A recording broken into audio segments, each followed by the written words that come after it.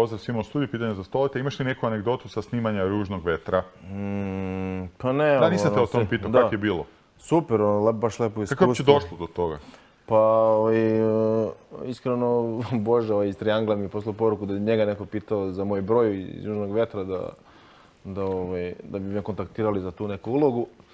Ništa je ostavio broj da me kontaktira, našao se s tim čovjekom koji je vezan za to. Super mi je to bilo zanimljivo, još to je bilo u vreme, da kažem, korone, tako da nije bilo ni borbe ni ničega, tako, ono, super ovaj, prilika, a i ono, bilo je ok zarada, tako da a, prihvatio sam to.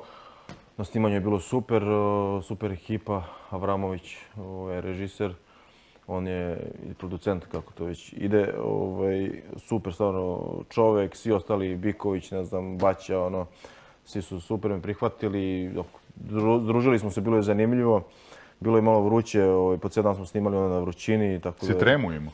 Pa nisam, ma nisam se ja nešto tu Da, nešto pojavljivao, ne znam sve šta, jedno znaš, je. ono, ovaj, imao sam tu par nekih o, scena, i to je to, ali bilo je stvarno zanimljivo i Dobro baš da vidim kako, znaš, to funkcioniše i bio sam sa nekim od naj, naših najvećih glumaca stalno u kontaktu, ono, nastavili smo neku komunikaciju, to je isto lepo. imaš A i film je hit. Da, super je bilo. Film je prošao jebeno. Super je bilo, da. Bili smo na premijeri i premijera je bilo isto top, tako.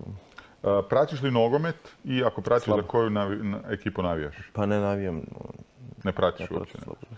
A, Razmišljaš li u o drugoj karijeri kad završiš borilačku? To smo pričali nešto na početku, da sad Da. ipak razmišljaš malo dalje od, od Pa borbi. razmišljam dalje, ali mislim ovo mi je sad svakako prioritet, a ovaj, ne može se, mislim svjestan sam da se ne može cijeli život boriti time, sad pokušavam maksimum da izučim iz toga i da maksimalno se ostvarim u tome da bi kasnije mogao nešto da razmišljam stvarno šta i kako, vidjet ćemo sad. Sviš ikad kao trener možda?